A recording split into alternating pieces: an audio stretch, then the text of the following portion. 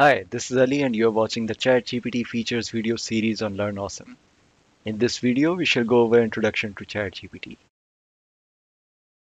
Before understanding what ChatGPT is, it's important to understand what GPT is. GPT or Generative Pre-trained Transformers are neural networks based on transformer architecture, details of which may be too complex and hence are beyond the scope of this video. GPTs are pre-trained on large amounts of unlabeled text and are able to generate novel human-like content. OpenAI company has released a series of prominent GPT models in a series, each one being significantly more powerful and feature-rich than its predecessor. The latest in series is GPT-4, which powers the paid GPT Plus. ChatGPT is based off GPT-3 or 3.5 models specifically fine-tuned for instruction following by applying various supervised and reinforcement learning techniques on top of base GPT model. Note the supervised and reinforcement part involves human involvement to train the model. It enables users to refine and steer a conversation towards a desired length, format, style, level of detail, and language used. ChatGPT or GPT-3 has been trained on the public data available on the internet until 2021, so it's a bit outdated. Note it might change depending on when you watch this video, but for now you cannot expect it to answer any current questions.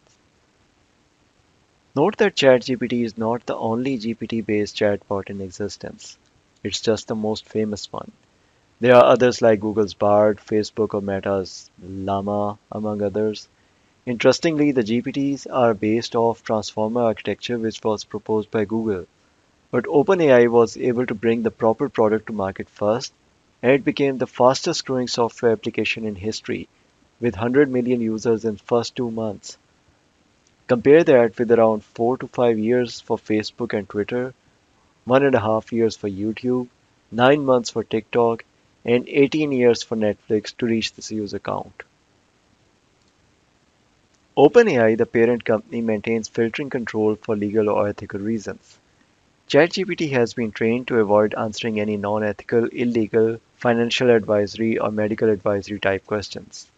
By advice, I mean it would not tell you which stocks to buy today or which medicine to take for your described symptoms. But it can provide you with a wealth of information about stock trading or diseases in general. Similarly, it would refuse writing angry or rude content like emails for you.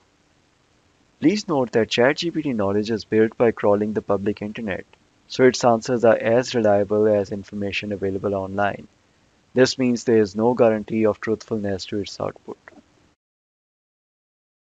ChatGPT is nothing but a predictive model, and as a good code goes, has knowledge but not wisdom.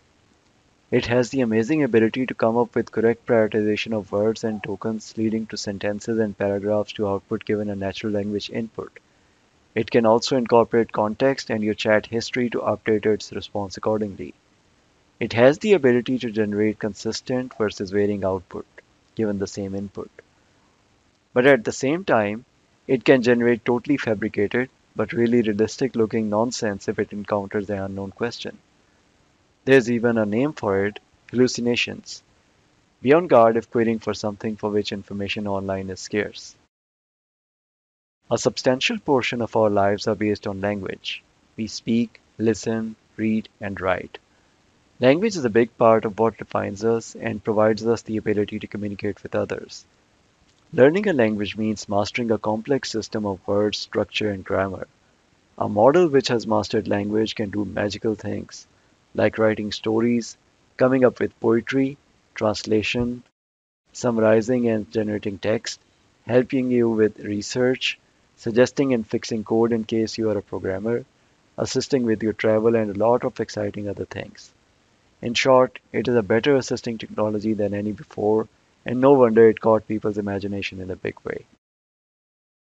Right, so you now have been introduced to ChatGPT. In next videos, we shall cover features of ChatGPT in detail. If you enjoyed the video, please consider to like and subscribe. Thank you. Goodbye.